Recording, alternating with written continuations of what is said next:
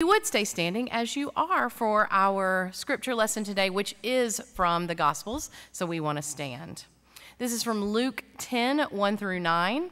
After this, the Lord appointed 72 others and sent them on ahead of him in pairs to every town and a place where he himself intended to go. He said to them, The harvest is plentiful, but the laborers are few.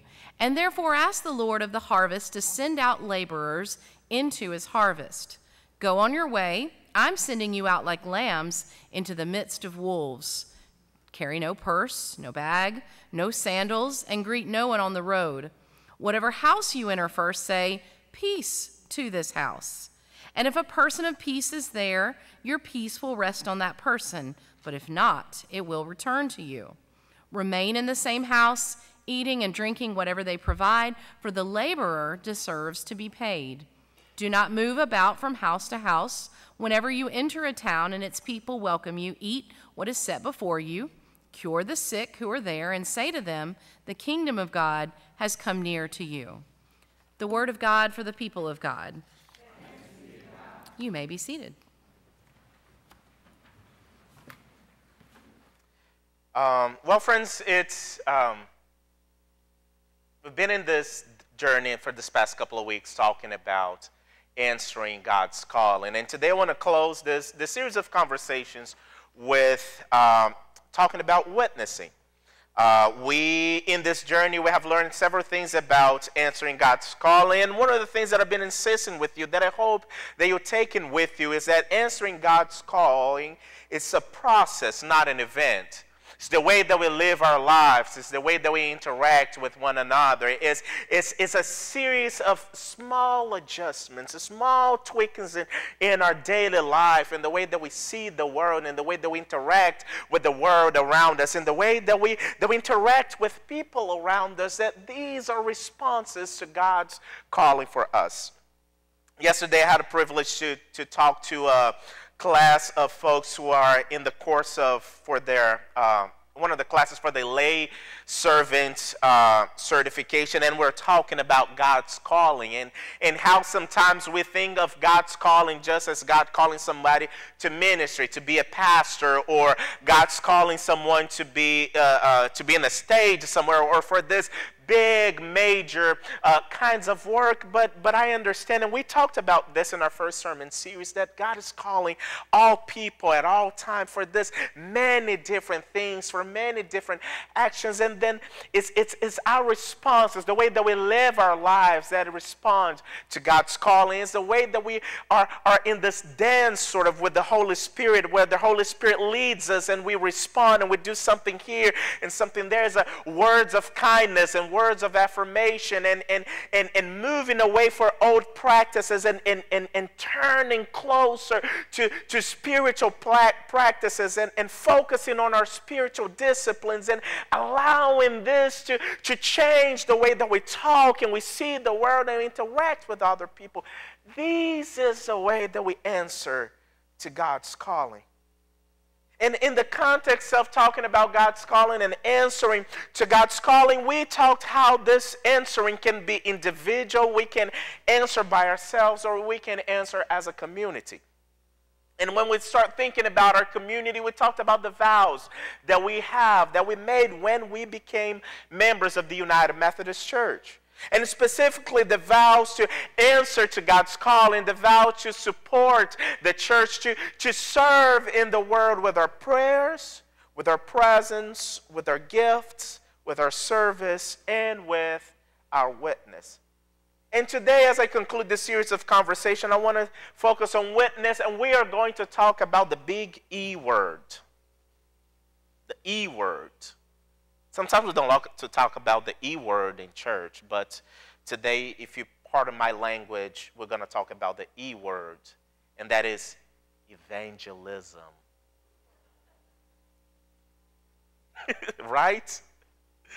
So, so I, I, there are several images of evangelism that we have, and that I, I, saw. I brought some pictures because maybe those are the images that you have of evangelism. There's a first one here. Maybe when you think about evangelism, this is the image that comes to your mind. Depending on which church you grew up in, what was the experience of church that you had, evangelism may be somebody angrily screaming at the corner of a street saying that if you don't turn to Jesus today and repent from your sins, you're going to hell, and talk more about hell than heaven. Maybe the image of evangelism that you have is the second picture. Maybe a group of people insistently knocking at your door, and uh, uh, just like the Jehovah Witness, and, and I grew. I grew up in this in this in, in, in, in an area that every now and then the Jehovah Witness would come in and people and the kids when we're playing in the street and the Jehovah Witness when the street in the back the word will go out so everybody will go inside their homes and close the door and say, the witness are here the witness are here. Maybe that's an image that you grew up with with uh, thinking about evangelism, that people bothering you and knocking at the door at all time and, and, and, and disrupting your day and people very inconveniently talking to you. Or maybe there's a last one. Maybe the image of evangelism that you have is someone holding a pamphlet in the, as you're trying to get out of the grocery store saying, if you die today, do you know where you're going to or do you know where you're going to spend eternity? Maybe when you think about evangelism, some of these images will come to your mind always more negative, always talking more about hell than about heaven, always wanting you to do a lot more than actually offering you something and proposing something that is of any benefit to you. It's always something that you have to give away, something that you have to stop to do, but usually never about what you gain when you give your life to Christ. And so when I think about evangelism, I love to go to Scripture and actually find out what does the bible tells us about evangelism? What does the bible tell us about witness? What is the model of jesus christ of sharing our faith with one another? And so at this point the, the, the image of the gospel reading for today comes to my mind. The gospel reading that we had for us today tells us at the, at the moment of the ministry of Jesus when he decides to go towards Jerusalem. Jesus started his ministry by calling the disciples, inviting people to follow his ways, he's disclosing more of himself to them, inviting them, investing in them, inviting them to follow him. And then he heals people. He changes the life of people. He starts telling people of, of a better way of living their lives. He starts to give hope to people. The message of Jesus in the beginning of his ministry has nothing to do with hell or with condemnation, but it has to do with hope. It has to do with restoration. It has to do with transformation. The message of Jesus is a message that invites us to live a better life. It's a message that invites us to get in tune with the plan of God for us. It has to do with, with the plan of God for us and the will of God who is pleasing, which is acceptable, which brings joy and comfort, moves us away from the path of sorrow and death and brings us into a path of love and union and fellowship with God and with one another. And Jesus then goes around the region preaching this message, touching people, healing people, meeting people along the way, meeting their needs. And at one moment, the gospel uh, uh, tell us that Jesus sets in his mind to go to Jerusalem. He knows what is going to happen in Jerusalem. He knows that he's going to be crucified. He knows that death is awaiting for him at Jerusalem, but he also knows that through his death, he'll bring life through his death and through his sacrifice, we will have life, we will have full transformation. The kingdom of God would be open for us. So Jesus sets his way to go through to Jerusalem. And so as he is going to Jerusalem, he decides to get the back roads. He doesn't get the highway or the main road, but he goes through the back roads, stopping at city after city, touching people, healing people, instructing people teaching about his message of love, teaching about his message of transformation, teaching about the kingdom of God.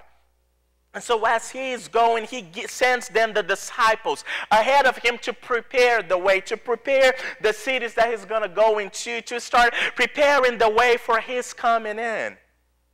And this is where I learned which Jesus strategy for evangelism, Jesus' strategy for witnessing, Jesus' instruction for disciples then and for us today on how to do proper evangelism.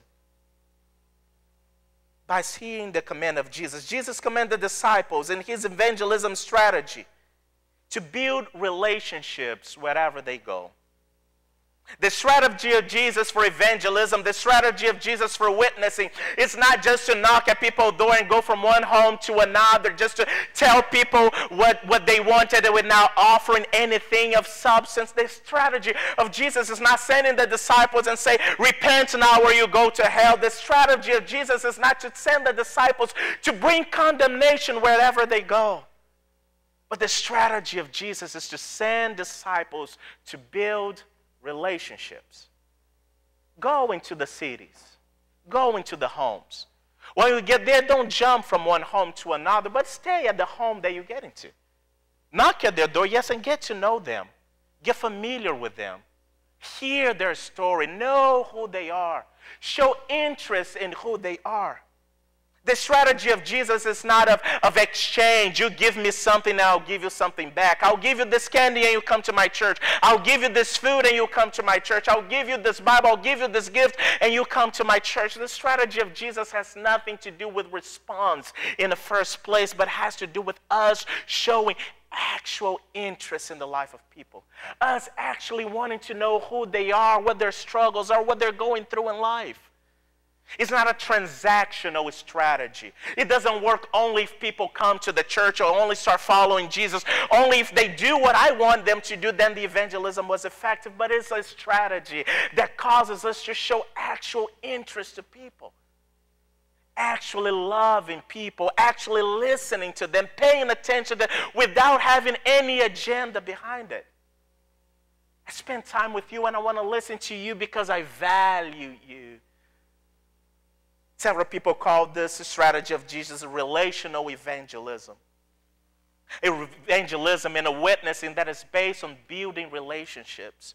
Not trying to use people for their money or for their attendance in church or for any other benefit that they can give, but it's actually seeing people for who they are and valuing them for who they are a beloved child of God. Strategy of, strategy of Jesus actually focus on people Go figure that. Jesus actually wanted his disciples to get to know people, to meet people, to value people, not for what they could give, not for what they could do, but for who they were. Imagine what that would do with our church. Imagine what that would do to Christianity around the world if we would focus on people, if we would value people for who they are if we would spend time listening to them for who they are, if we would love them for who they are, not because they can give us something back, not because they will make our church fuller, not because they will make our budget healthier, not because they will make us uh, make our life easier or open other doors of connection for us, but we will love people for who they are. This evangelistic strategy of Jesus centered in relationships. The goal is to meet people, to love people, to show that they are valued, to show that there's something important in them. And then, once we hear them, once we get to know them, then we start sharing our faith with them. We start sharing what the Lord has done in our lives. Then, and some people say, when you earn the right to speak, then you share your faith. Then you say, hey, this is how I practice my faith. This is what the Lord has done for me. This is the church that I attend. And when I go to this church, I'm surrounded by people who also love me for who I am. They know that I'm imperfect. They know that I don't have all things right. They know that I struggle at times, but they still pray with me. They still love on me. Then, once we get to know people and allow them to know who we are, we can openly share about our faith. That is very different from screaming from the corners of the streets. That's very different from approaching people in the, in, the, in the door of the grocery store. That's very different from knocking at people's door and just handling a pamphlet and vomiting everything that we have learned and memorized in Sunday school. That is actually getting to know people. Just like Jesus did. Jesus did not come from heaven and just say, This is the gospel and this is the kingdom, and now if you believe or don't, good for you or bad for you, and you're going to hell, and I'm going back to my home. Jesus has spent time with us. Jesus showed interest in us. Jesus wanted to get to know us. He spent time meeting with people, going to weddings. This is, this is the gospel. When you hear the gospel, it's a bunch of stories about how Jesus went from home to home, from town to town, getting to know people. This one time that Jesus even healed the, uh, Peter's mother-in-law. I found it so interesting the detail that the gospel tells us that Jesus was so involved in the life of his disciples that it was not only about them, but about the connections that they had and about the families and friends, siblings, Jesus was inviting people to relationship. And through that relationship, restoration flowed. Through that relationship, transformation flowed. Through those relationships, then a conversation about faith arose. I think it's. Hmm. I was going to preach a completely different sermon today. But I think it's so interesting, and, and, and, and this, is, this has been my prayer this week that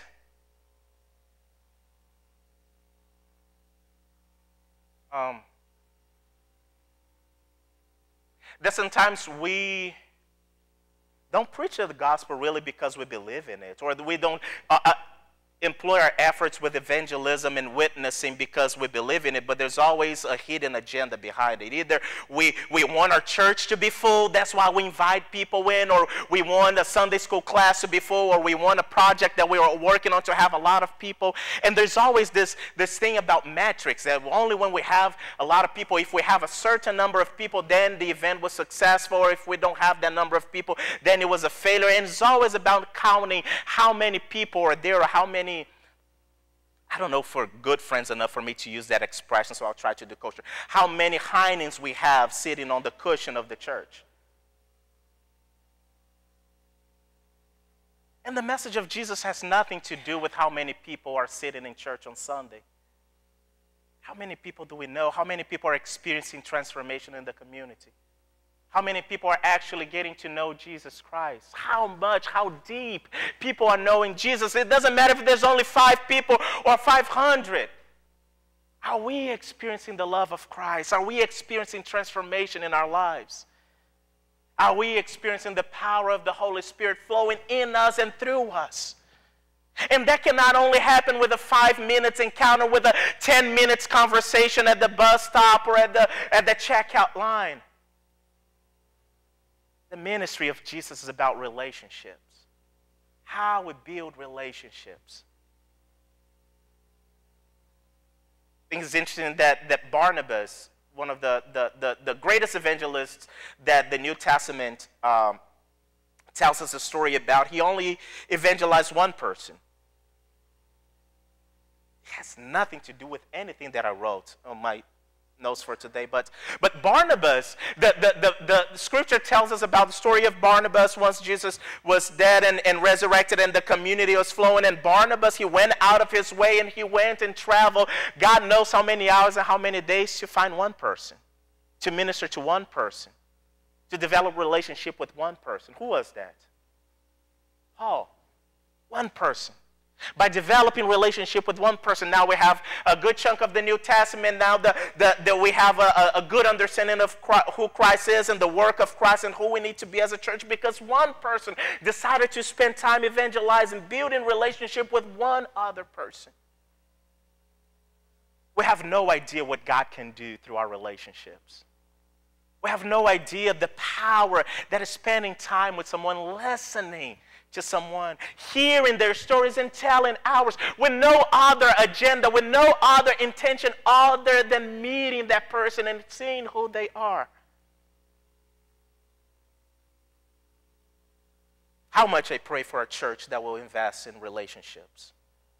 How much I pray for a church that, that, that will stop looking at those metrics and how many people attended Sunday and how many people are in this. Or, or, and we'll invest in a church and, and build a church of, that will focus on how many, what was the depth of, of, of the transformation.